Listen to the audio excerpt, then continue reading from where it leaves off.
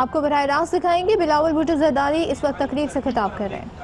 عملے کیے گئے۔ اب باقاعدہ شور و غل ہو رہا ہے کہ جی صدارتی نظام لایا جائے، تو کیا واقعی یہ صدارتی نظام کی طرف بڑھ رہا ہے؟ پاکستان پیپلز پارٹی کہاں کڑی ہے اور اس صدار پارلیمانی جمہوری نظام کو بچانے کے لیے پیپلز پارٹی کیا کچھ کر سکتی ہے؟ آپ کا سوال کا بہت شکریہ۔ یہ باقی سب کے لیے نیا خبر ہے۔ پاکستان پیپلز پارٹی مجھ سمیت تمین پورا الیکشن کیمپین میں اس سے پہلے ہی بھی۔ اس پر تو ہمارا کیمپین چل رہا تھا۔ عوام کو بتا رہے تھے کہ کچھ سازشی عناصر ایسے ہیں جو کت پتلی حکومت لے آ کے آپ کے حقوق چھیننا چاہتے ہیں، آپ کے وسائل چھیننا چاہتے ہیں، آپ کی جمہوریت کو ریپ اپ کرنا چاہتے ہیں۔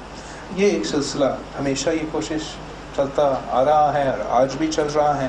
لیکن جہاں تک اٹھارہویں ترمیم ہے میں سمجھتا ہوں کہ سندھ حکومت وہ ایسے مثال ہیں جہاں ہم نے آپ کو کر کے دکھایا کہ اٹھارہویں ترمیم کے بعد ہم نے بہتری لے کر آئے اٹھارہویں ترمیم کے بعد ہم نے تھر میں انقلاب لے کر آئے ہیں۔ اٹھارہویں ترمیم کی وجہ سے ہم نے N I C B T J P M C J I C H یہاں ڈاؤ میڈیکل یونیورسٹی گورنمنٹ ہو گورنمنٹ ہو گورنمنٹ انسٹیٹیوٹ ہو خیر پور میں جگہ جگہ انقلاب لائے ہیں ہمارا صحت کے نظام میں۔ ہمارا یہ وسائل نہ ہوتے، ہمارا یہ ہمارا ہمارا انڈر نہیں آتے۔ اگر اٹھارہویں ترمیم نہیں ہوتا، اگر این ایف سی ایوارڈ نہیں بڑھایا جاتا۔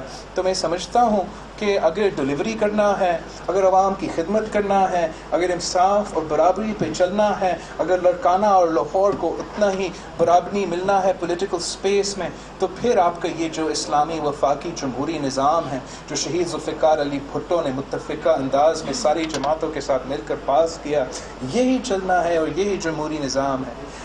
جو لوگ آج کہہ رہے ہیں کہ نظام بدلو یہ وہی لوگ ہیں جو ہر دس سال دس سال بعد کہتے ہیں نظام بدلو، لیکن میں سمجھتا ہوں کہ ستر سال گزرنے کے بعد بھی بعد اب پاکستان کے عوام نے یہ فیصلہ فیصلہ کر لیا ہے کہ نظام نہیں، آپ لوگ اپنے آپ کو بدلو۔ آپ جمہوری سوچ آپ جمہوری سوچ کے عوام بنیں، آپ جمہوری سوچ کے رول آف لا کے مطابق چلے۔ عوام یہ برداشت نہیں کرے گا کہ نظام بدلے، عوام یہ مطالبہ کرے گا کہ آپ اپنے آپ کو بدلیں۔ آپ آپ، ایک باری باری۔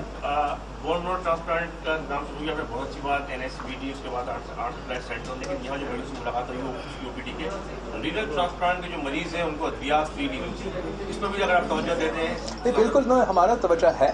اینڈ ہمارا جو S I T S I U T کا فیسلٹی ہے، آپ کو وہاں سو فیصد مفت ملتی ہے۔ آپ کا جو گورنمنٹ فیسلٹی ہے، آپ کو سو فیصد مفت ملتی ہے۔ یہاں جو ڈاؤ میڈیکل یونیورسٹی ہے، آپ کو سبسڈائز ریٹ پہ، بہت کم ریٹ پہ ملتی ہیں ہمارا خواہش یہ ہوگا کہ نہ صرف یہ ہاسپٹل مگر سارے ہاسپٹلس ہم مفت کروا سکیں۔ لیکن اس کے لیے آپ سب نے مل کر محنت کر کے پاکستان پیپلز پارٹی کو حکومت کو وفاق میں لے آنا ہے، تاکہ صوبائی کے حقوق حقوق جو ہے صوبے کے جو وسائل ہے صوبے جو پیسے جو پیسہ ہے، اس میں ڈاکہ نہ ڈالا جائے۔ آپ کو، آپ سوچئے کہ ہمارا صوبوں کو اس کا پورا پیسہ نہیں مل رہا۔ آج مجھے بتایا گیا کہ اس سال ہمیں ففٹی پرسینٹ کم پیسہ مل رہا ہے ہمارا ڈیوز میں سے۔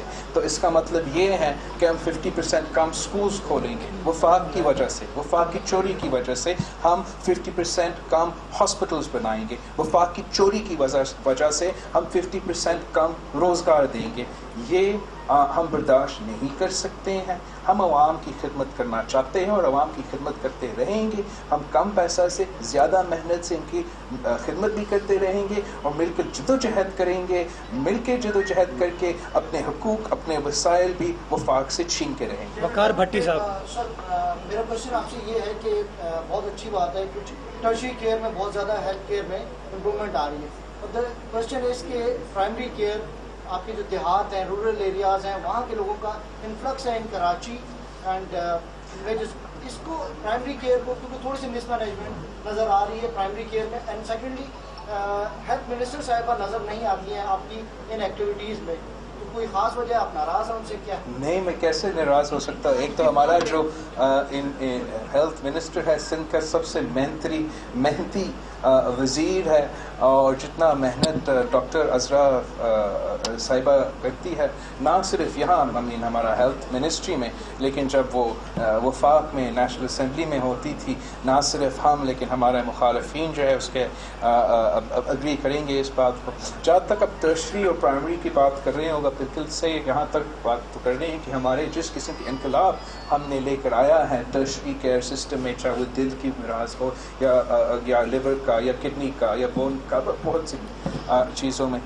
ویسے ہم چاہتے ہیں کہ ہم پرائمری ہیلتھ کیئر پہ بھی فوکس کریں۔ پرائمری ہیلتھ کیئر میں بھی بہتری لائیں۔